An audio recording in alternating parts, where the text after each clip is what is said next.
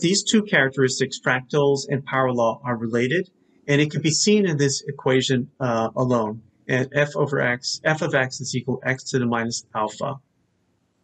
Let's just say you scale up by a factor of c, and the cx enters here. And then this, you factor out the c from this parentheses, and then you get this relationship here because x minus a is this f of x. But again, you see that even at a larger scale, the f of x remains the same. And this explains the fractals. Basically, at different levels of scale, you have the same appearance of the function. And this law is quite ubiquitous, and an example of this is the population of United States cities. If you map out the distribution of uh, the population of cities by frequencies, you again see that the bulk of distribution occurs for small sizes in small towns, whereas a small number of cities with much higher population produces the long tail to the right. And again, this follows a power law relationship. And in order to see if it's truly a power law relationship, you take the log log of both. You take the log of the population, log of the probability, and you should get a linear relationship with a slope of minus alpha. And this power law is seen in many different situations, uh, all across nature, as well as complex social networks, and also even in books. The word occurrences in Moby Dick's is also follows a linear relationship. Number of citations to a scientific paper, number of calls, magnitude of earthquakes, the diameters of craters of moon, etc.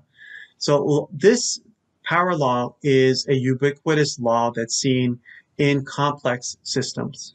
This complexity or this fractality can also extend not only from a spatial situation, but also temporal situations by time. And again, another example of this where you sort of zoom in and see the similar patterns uh, despite differences in scales. In regards to time-based data, the particular relationship that's most important is something called 1 over f power spectral density. It's 1 over f because the power is in, inversely related to the frequencies. The higher frequencies tend to have higher, uh, lower power, whereas the lower frequencies has higher power. And certain types of noises can be categorized according to this relationship. White noise is something that has power spectral uh, densities that's uniform across frequencies, whereas the other extreme is brown noise, which has much more of a lower frequency component. And it's this halfway point between these two, which is called pink noise. And it's this pink noise, 1 over f, that is of great interest for us. Pink noise, just like the power law in spatial frequencies, is quite ubiquitous. And you can see this in multiple artificial as well as natural settings. You can see this in vacuum tubes, semiconductors, and for natural settings, human hearts, squid, axons, as well as MEGs and EEGs. Question is, how do these fractal and power law properties arise? And so this is the million dollar question to which scientists are still trying to figure out. We still don't have the answer. But there's some really critical ingredients for these nonlinear properties to occur. And first is the is a balance between order and disorder. Criticality occurs when there's a, both a stabilizing force and destabilizing forces. And the balance of the two creates these really dynamic characteristics at criticality. The second thing and third thing that's involved is nonlinearity. There needs to be some kind of nonlinearity in these uh, fractal uh, systems and particularly for this Ising model, it probably is found in the energy function itself. And the other thing is iterative feedback that you have, for instance, one spin affect another spin, and then that spin can affect that other spin back again. So you have these iterative feedbacks which can be positive or negative. So fractals and uh, power law properties probably arise from a tug of war between stabilizing and destabilizing forces nonlinearity, and feedback. So knowing this, which of these cases are healthy? You can see the time series or heart rate over uh, time in four of these examples. And for the ones that, uh, for this one that has absolutely no variability, it's congestive heart failure. This one has a periodic variability. This is also congestive heart failure. And this has a lot of variability, almost like a randomness to it. And this is atrial fibrillation. And this is the healthy case where you have a combination, basically the balance between order and disorder. You can take this a little further and say that if health is truly a balanced state uh, between order and disorder, then disease is got to be a pathological breakdown into order, severe order, and then severe disorder. We can ask then, how can you objectively quantify this healthy dynamic? And you can make this logical step. First, if good health is truly a balance between order and disorder, and this is just like a systemic criticality, and if a systemic criticality demonstrates fractal properties, then truly good health must have fractal properties. And since this is a time series, what we're interested in is something called pink noise, which is a balance between the white noise and brown noise. And the nice balance here is similar to the pink signals that we see here, whereas the breakdown into disorder is similar to white noise, and the breakdown into order is brown noise. The next part is to appraise the evidence for fractal-based heart rate variability measures. The first study that looked into fractal relationships in um, disease was uh, Bigger in 1996, which was published in Circulation. He had three groups, one with a recent acute MI. He had 715 subjects in this group. Healthy group, which had 274 participants, heart transplant individuals, and there was 19 in this. He took a 24-hour continuous ECG and evaluated the power law slope, which is essentially the power spectral density versus frequency, but uh, paid specific attention from 10 to the minus 4 to 10 minus 2 hertz. And the reason for that is that if you take a look at the relation spectral density relationship uh, of the heart rate, you see a linear relationship or linearity that exists pretty much from the low, very low frequencies all the way to maybe about 10 to the minus 2. And then you have a little, you have um, these squiggly parts that correlate with the higher frequencies. Bigger et al. showed three examples from each group. This is a healthy individual. This is a myocardial infarction individual and heart transplant person. And this person who is healthy had a slope that was close to minus one, again, following the one over F pink noise uh, characteristic. However, the myocardial infarction individual had a, a steeper slope at minus 1.2 and the heart transplant individual at minus 2.2.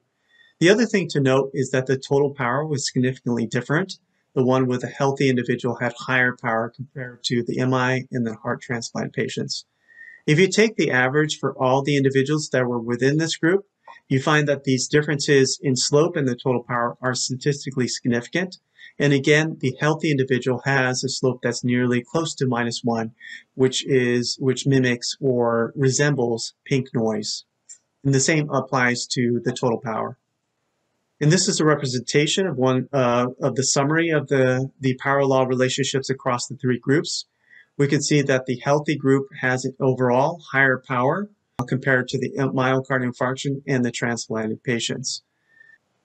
And you can see this from the perspective of very low frequency and ultra low frequency. Again, healthy has a higher very low frequency compared to MI group and the transplanted patients. But this graph also indicates how the total power differentiates itself from the fractal slope or 1 over F power law relationship.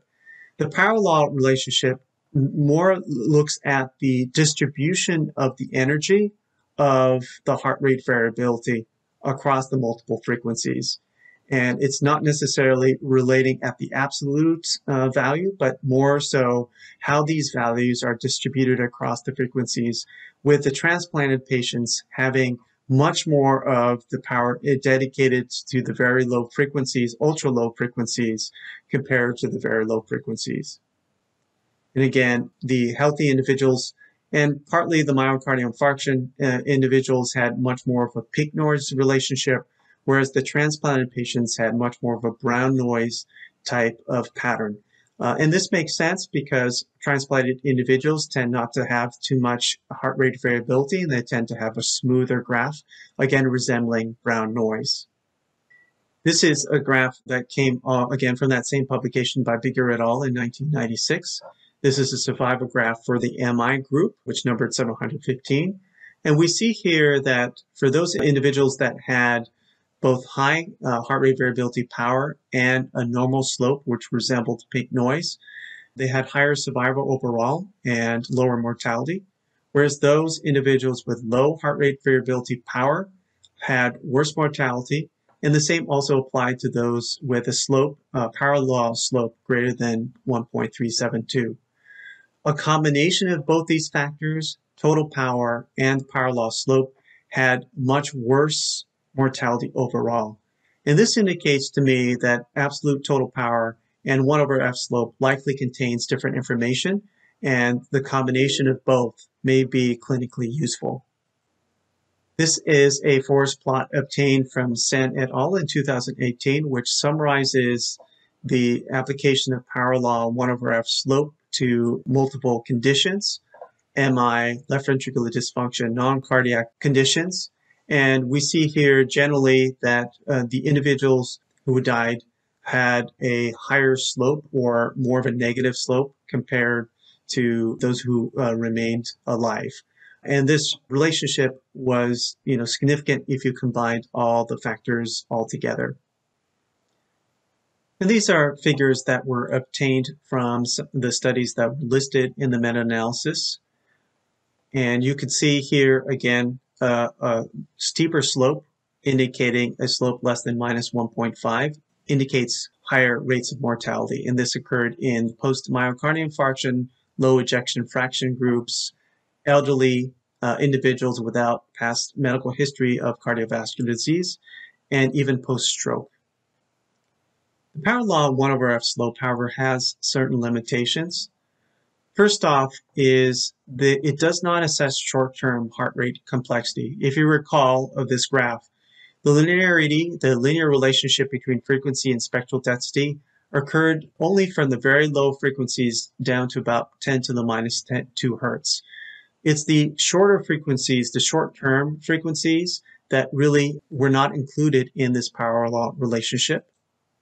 And because we focused on the very low frequencies, it requires a significant amount of data acquisition and it requires data more than 24 hours and the other thing is that power law slope requires the fast Fourier transform, and the fast Fourier transform is not ideal for non-stationary data. And what do I mean by that? Non-stationary data has uh, the mean or standard deviation that changes with respect to time. So you can see, for instance, if you take a segment here, the mean and the standard deviation is very different from here, where you have, you know, low RR interval average, but uh, and also low standard deviation. It's just simply one of the weaknesses of fast Fourier transform.